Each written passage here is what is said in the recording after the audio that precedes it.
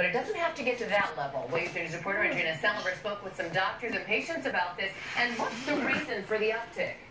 Well, doctor tells me that part of the reason is schools no longer screen for scoliosis. The condition is caught in later stages, making surgery the only solution. I talked to a scoliosis patient and her family who said the whole process was completely overwhelming.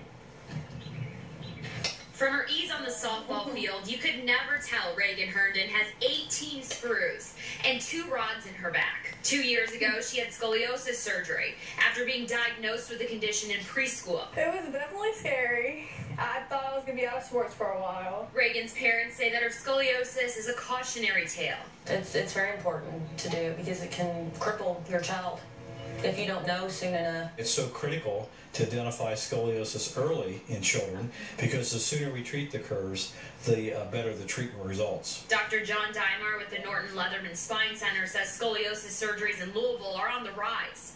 Dimar believes part of the reason is federal funding being cut from school screenings. It's a deformity that really doesn't cause any pain, so people don't really look for it. It doesn't come to a lot of people's attention. Dimar says early screenings can result in less invasive treatments, like a brace. Kids eventually began to understand as uh, I explained every day about it. Reagan wore a brace, but her case of scoliosis was so severe, surgery was the only option. Five hours of your kid being put under and knowing they're having all this hardware put into their back. Jenni Herndon says if an extra trip to the doctor can avoid surgery, it's worth it.